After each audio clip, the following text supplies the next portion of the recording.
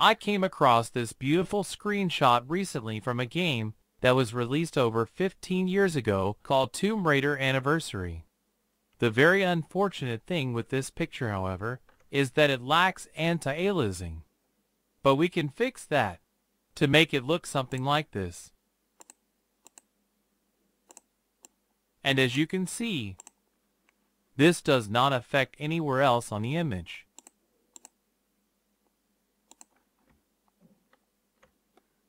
There are a couple of ways you may try to achieve this.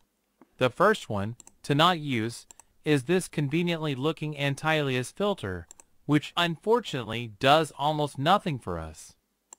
The second approach would be painting over the jaggies using smudge tool, which you can use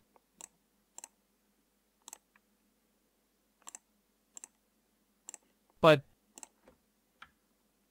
that's going to take a lot of time, especially if you have a lot of vegetation around to take care too. So I'd rather like to have something universal to quickly apply for the whole image at once. The skills that you are going to need for this are layers, masks, and color curves. Our first thing we need to do is to find all these jaggy pixels which we are going to apply our anti-aliasing effect of some sort.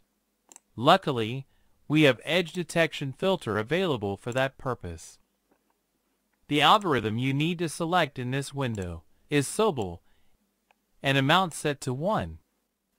If I was using Laplace algorithm, it's going to highlight edges inside of our character. If I was using differential on the other hand, it's going to highlight edges outside of our character.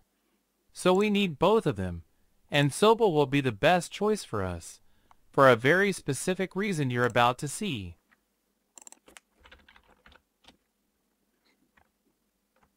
We are going to blur this next using Gaussian blur to smooth the effect we are going to put in soon.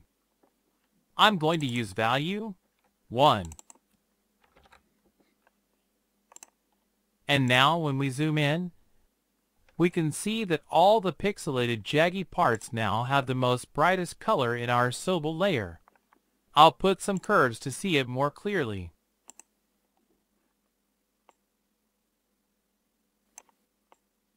Like this. This is where we want our smoothing effect to be the strongest, and not so much elsewhere. Let's cancel this for now, and fine-tune it later. Okay, now we have defined which pixels to smooth out. Next, we need some average colors for the pixels that we are going to replace. Let's make a copy of our original layer. Add some blur to it. With value 1.0. Next up, we add a mask to this.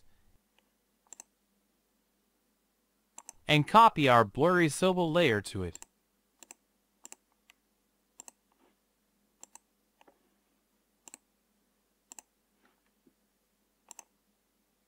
We are almost done now.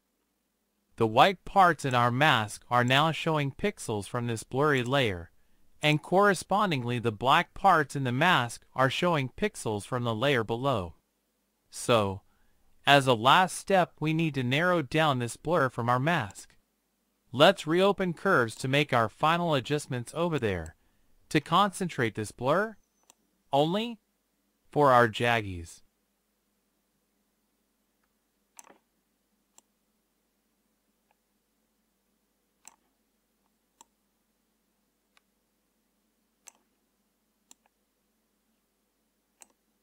Much better now. And here is the final image.